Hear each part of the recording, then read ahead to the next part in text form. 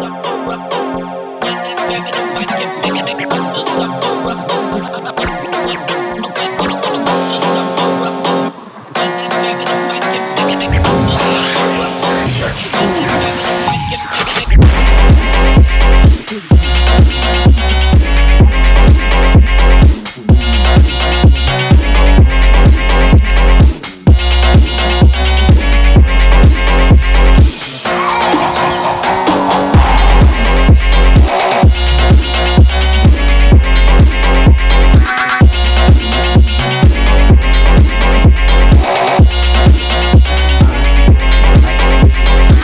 that's grabbing the mic and picking up.